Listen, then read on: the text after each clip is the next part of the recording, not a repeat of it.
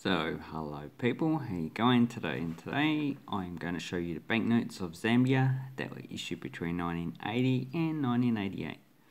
So these are about ooh, 29 to uh, 37 years old. Now the issue I have here is the last signature of each of them and well inflation took off at this time so it's not I'm not surprised that actually a lot of these banknotes were kept.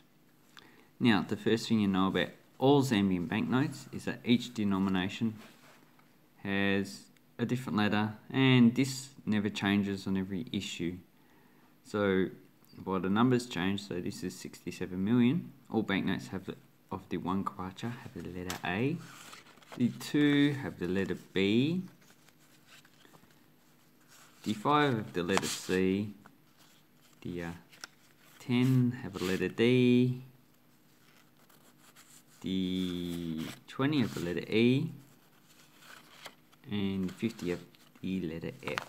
Now, current banknotes that are currently used uh, since uh, 2013, the 2 kwacha starts with A, and the 100 kwacha would have uh, the letter F.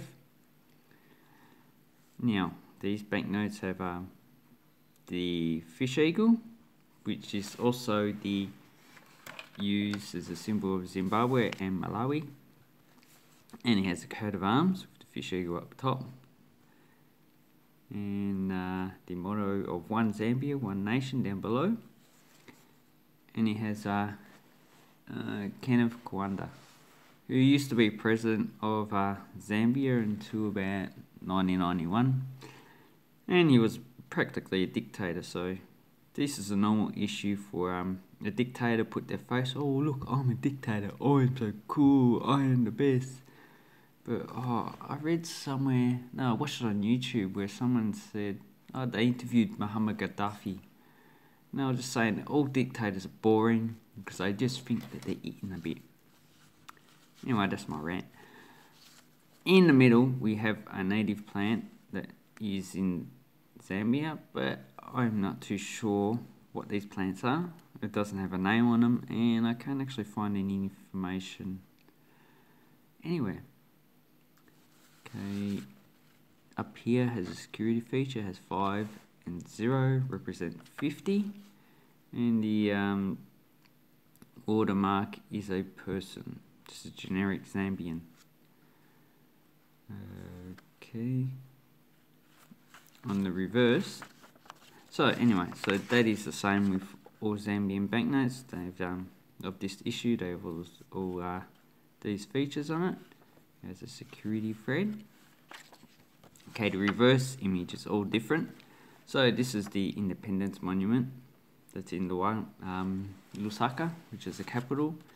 And on here we have uh, the National Assembly building, which is um, in Lusaka as well. See, the minter is down, oh, no, print, the printer is down below.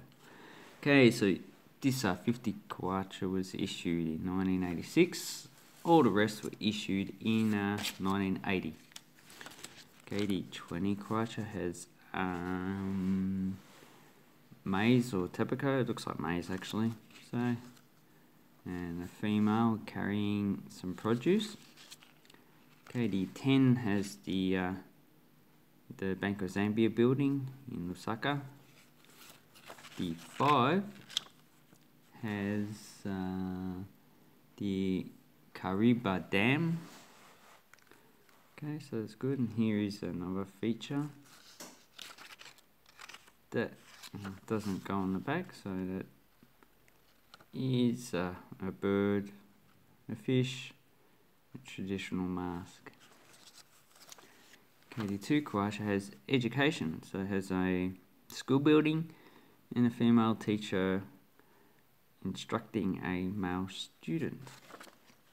And the one Kwacha is um, is a cotton harvesting. So this is a cotton plant here. And here's the cotton in the bag. And this banknote was replaced by a coin in about I think 1987 of one kwacha. So, these are pretty easy to get on eBay. The the hardest one I found to get was actually the 20 kwacha. It's probably a bit, bit more expensive than the 50. Maybe it's just the way I brought it. So the flowers, this one has a nice red flower and green on the back. And this flower here, yellow. On the 5, has like a, flower, looks like an, some type of a tree, probably an acacia. And this one is in sequence.